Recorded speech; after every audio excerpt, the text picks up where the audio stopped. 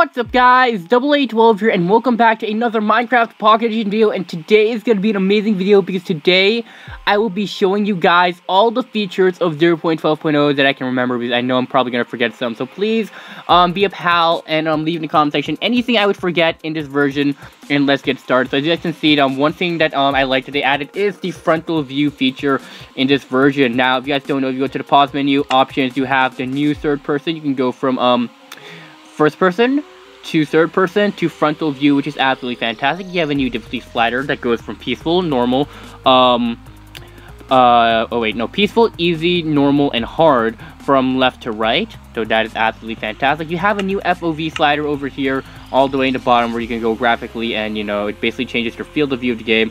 And I like to have it over here because it looks really, really nice, I guess. So that's awesome.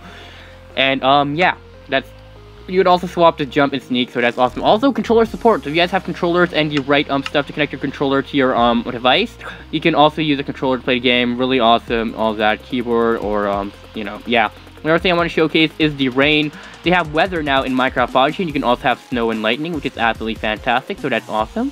A cool thing in the creative um, side, as you can see, um, if you have a sword in the creative game, um, bam, cannot break blocks no matter what you do. So that's, I guess, a cool way to create to control yourself while you're doing um, you know, whatever you want doing creative.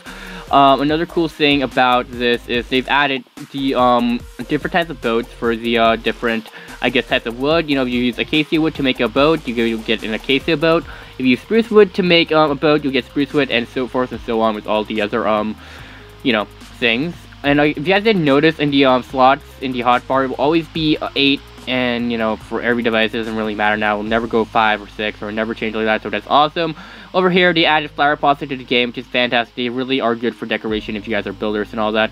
They added player heads from, um, I guess, um, Skeleton, Wither Skeleton, Zombie, Steve, and a Creeper. Um, you guys can see another portal there, so that's cool. You have a cool ocelot down here, which are all really cute. They're basically cats. They scare away creepers, so they're pretty useful in that sense. And my blaze disappeared, so we're going to have to add them back. But they added blaze into Minecraft Odyssey. These things are quite deadly. Um, you know, they make some weird metallic noise when you hit them, but they die pretty easily. So just be careful, they can bring you on fire. They added an enchantment table. Also, you can also enchant. These things are pretty cool because in the dark, these things actually glow in Polishin. Here, let's go um, covers up.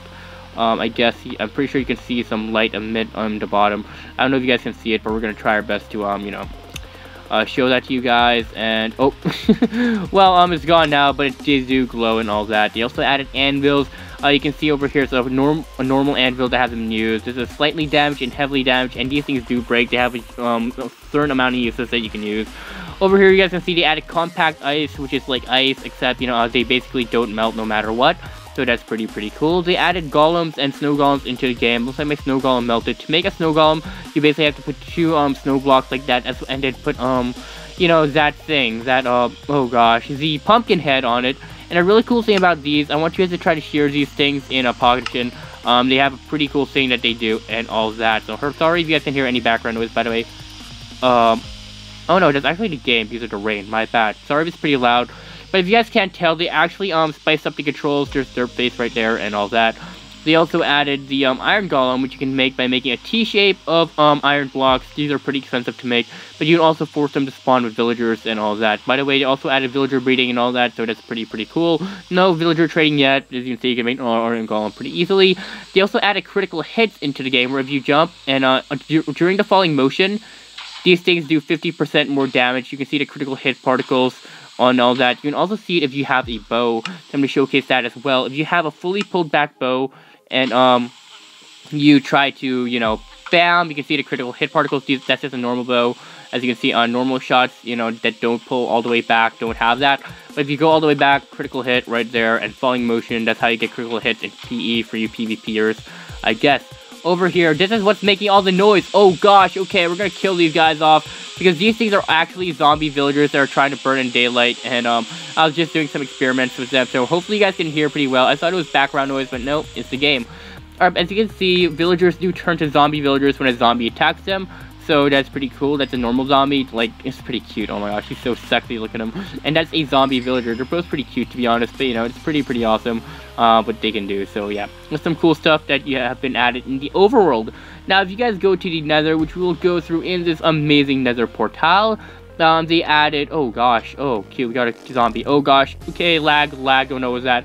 But if you spawn skeletons in the nether, sometimes you have a chance for them to redeem, whoa, we got like armor from that thing, okay. Wither Skeleton Spider is also another feature in this game.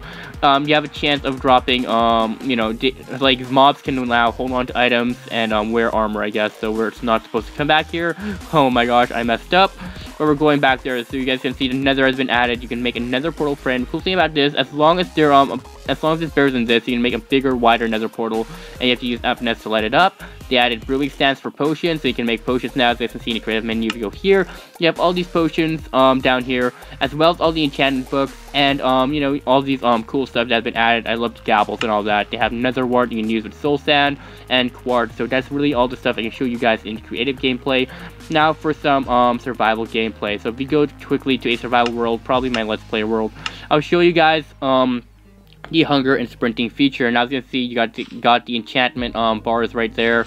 Um, you guys got the hunger on the upper right hand corner and the um, you know, uh, I guess hearts are there. So if you guys do, you guys will eventually lose hunger on the way, and you guys will always need to use um, food to replenish. If it goes under um, around four armor, uh, four hunger bars, you will uh, not be able to sprint, I believe. And you know, if it goes all the way down, you will start losing health. So hunger is a thing now, and that really is it for the um, review. I guess there really is nothing else I can showcase. They moved the chat to the middle if that makes any um difference throughout the game. You know, other than that.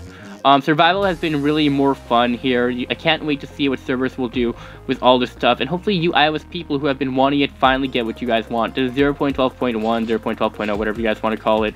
And it is absolutely fantastic and crazy, um, you know, how much the game has evolved um, ever since.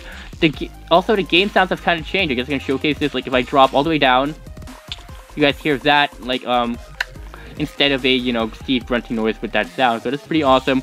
The sounds have been kind of updated, so that's pretty, pretty cool themselves. So, um, yeah, that'll be it for the video, guys. Hopefully, um, a pretty good review. I really love this update. It's really one of the best updates, most likely, in my opinion. Second to 0.